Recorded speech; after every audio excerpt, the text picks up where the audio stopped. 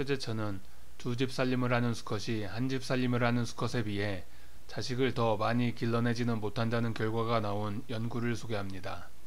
레즈비언 갈매기에 대한 연구를 소개할 때와 마찬가지로 어떤 논문에 실렸는지 출처를 밝히지 않았습니다. 저는 자꾸 의심을 하게 됩니다. 그냥 귀찮아서 출처를 밝히지 않은 것일 수도 있습니다. 하지만 그런 연구 결과가 순전히 최재천의 뇌피셜이기 때문에 출처를 밝힐 수 없는 것인지도 모릅니다. 최재천이 황당한 소리를 수시로 한다는 것을 잘 알고 있기에 그리고 두 집 살림의 번식 성과에 대한 최재천의 말이 제게는 너무나 황당해 보여서 관련 논문들을 찾아보기로 했습니다. 논문을 찾아보기 전에 진화생물학 지식의 바탕을 두고 제가 어떤 식으로 추정했는지 알려드리겠습니다. 수컷이 두 집 살림을 하면 수컷 한 마리와 암컷 두 마리가 두 개의 둥지에서 자식을 기릅니다. 반면 수컷이 한 집 살림을 하면 수컷 한 마리와 암컷 한 마리가 한 개의 둥지에서 자식을 기릅니다. 세 마리의 생리적 자원과 노동력이 합쳐지면 두 마리의 경우보다 자식을 더 많이 길러낼 수 있을 것 같습니다. 이런 이유 때문에 두 집 살림을 하는 수컷이 한 집 살림을 하는 수컷보다 더 잘 번식할 것 같습니다. 두 집 살림을 하는 수컷은 한 집 살림을 하는 수컷에 비해 대체로 더 우월할 것 같습니다. 암컷의 입장에서 생각해 봅시다. 어떤 수컷이 우월하지 않다면 미쳤다고 그 수컷의 두 번째 아내가 됩니까? 이것은 인간이나 새나 마찬가지일 것 같습니다. 수컷이 암컷을 속일 가능성도 있겠지만 암컷들이 바보는 아닙니다. 암컷 새와 인간 여자가 바람을 피우는 이유에는 공통점이 있는 것 같습니다. 남편이 열등할 때 우월한 수컷과 섹스를 하면 더 좋은 유전자를 얻어서 자식을 낳을 수 있습니다. 따라서 두 집 살림을 하는 우월한 수컷의 경우에는 아내가 바람을 덜 피울 것 같습니다. 이런 이유 때문에 두 집 살림을 하는 수컷이 유전적 자식을 더 많이 남길 것 같습니다. 인간이나 새나 우월한 수컷은 남의 아내와 섹스를 할 기회를 더 많이 얻는 것 같습니다. 이런 이유 때문에 두 집 살림을 하는 수컷이 유전적 자식을 더 많이 남길 것 같습니다. 두 집 살림을 하는 수컷은 대체로 더 좋은 유전자를 자식에게 물려줄 것 같습니다. 따라서 한 마리의 자식이 더 많은 손자로 이어질 것 같습니다.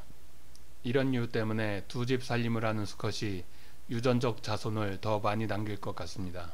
두 집 살림을 하는 수컷이 더 잘 번식하는지 밝혀내기 위해 그 수컷들의 둥지들에서 얼마나 많은 자식들이 자라나서 독립하는지 세어본 학자들이 있었습니다. 하지만 이런 연구에는 한계가 있습니다. 둥지를 돌보는 수컷이 거기에서 자라는 아기 새의 유전적 아버지가 아닐 수도 있기 때문입니다.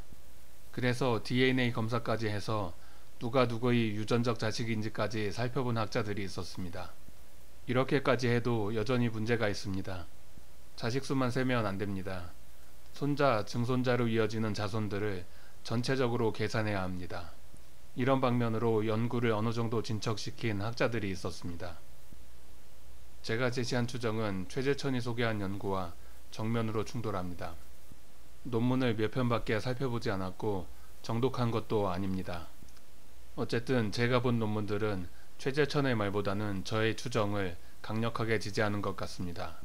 설사 최재천이 제시하는 결과를 담은 논문이 있더라도 이례적인 사례인 것 같습니다. 이런 연구들의 표본 크기가 대체로 그리 크지 않습니다.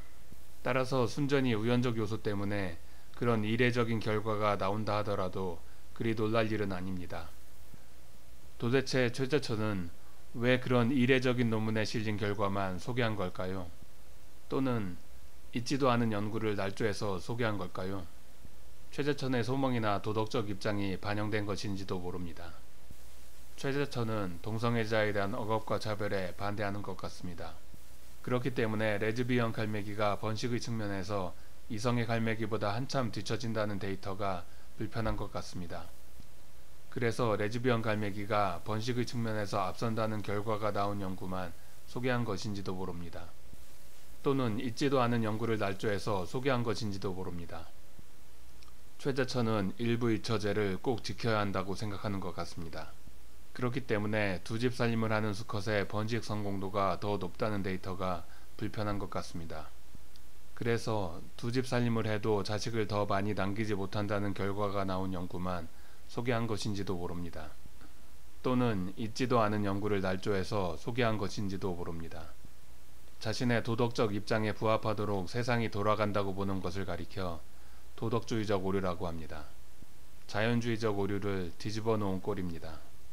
자연주의적 오류뿐 아니라 도덕주의적 오류도 최재천의 취미가 아닌가 하는 의심이 자꾸 듭니다.